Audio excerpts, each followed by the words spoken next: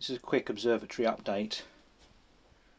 I've removed this finder and the mount. The mount is one of those mounts that allows you to finely adjust it in altitude and azimuth. It's a very nice mount but it's incredibly heavy. These two things, the mount and the finder, are two kilograms. So as a result my tube is no longer balanced properly. I've got a, a solar scope down there, it's an uh, William Optics ED80 and I had the other finder scope here balancing it out. And now I've got more weight on this side than I've got on this side. So my plan is to take all of those cables and electronics that are currently opposite the um, this bit here and bring them to here. And that'll help balance out the difference between the weight of this and um, and the weight of the of those bits. Those bits don't weigh anything like as much as this but it will help a little. And it'll um, reduce the leverage that um, these things here are putting on the mount. So it should should make it um, should make it easier for the mount. I've been able to do this and remove the finder because I installed an off-axis guider which has been brilliant. I get always multiple stars to choose from. Um, I'm using the latest version of PHD2 and with that you can do multiple star alignment and on some occasions I'm getting eight stars that it will um, will find to um, to do the tracking against um, which is pretty impressive um, given that it's an off-axis guider. It's quite a large chip. This is the QHY5L2 mono. Here I'm removing all of the cables and electronics from the telescope tube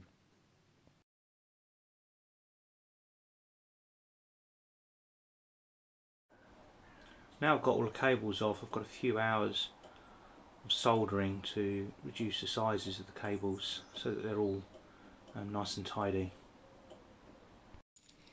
So this cable only has to go to there, so I'm going to make it a lot shorter so it literally just goes to there like that. This is what it looks like inside, this is my dew heater controller. It's actually a Velleman motor speed controller um, which does pulsed width modulation um, to change the amount of power going to the uh, to the outputs based on the resistance of this um, potentiometer. In this box is an Arduino and a four channel relay control board and it works with my ASCOM compliant PowerBuddy software.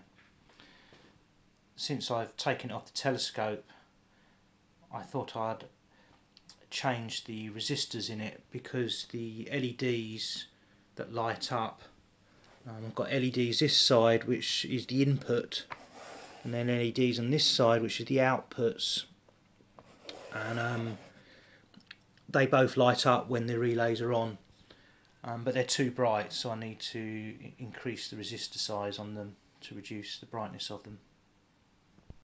This is what it looks like inside. So here's the Arduino, here's the four channel relay board. These are the pins that I'm using to control the relay board, there's four of them, one for each relay. And then there's also a ground which is, getting off the Arduino and a power which it gets off the Arduino. And then here is where you then wire up the relays to go from here via the relay over to here and then these are the resistors um, that I need to change. There's eight of them in total. My electronics book says I need to use 1 kilo resistors for a 12 volt supply. I'm currently using 4.76 kilo ohms um, and they're too bright so I'm probably going to look for 10 or 20 kilo ohms Here I'm reconnecting the electronic boxes to the Vixen dovetail. The electronics have plastic dovetail mount clamps which I 3D printed and glued on. The white box is my homemade dew heater controller. This is glued to my Power Buddy which is an ASCOM compliant relay controller that I designed. The next two boxes from left to right are an 8 port USB 3 powered hub and a power distribution box. This takes the single 12 volt 30 amp supply cable and splits it into five separate feeds. I do this to reduce the number of cables travelling up the mount. I'll leave a link to my EQ6 cable management system in the description. I measured how long each power cable needed to be and cut them down to size and resoldered the connections. I then sorted through my USB cables and fitted the shortest cables possible. A couple were still too long, so I ordered shorter cables and fitted these off camera. This is everything I've removed. I've got the finder, the mount for the finder, and then this is all the extra cable that I've cut out by moving where all the electronics is to a different position. So it's all this cable. So the cable comes to 299 grams. I've taken into account the pot